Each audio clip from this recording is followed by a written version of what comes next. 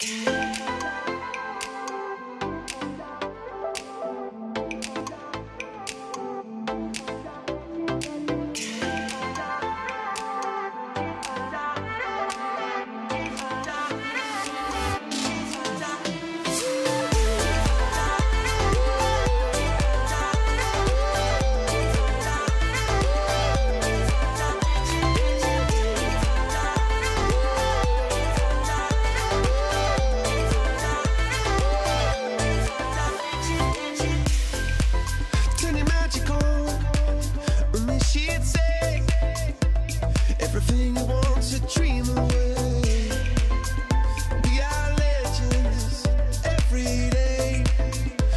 she told me.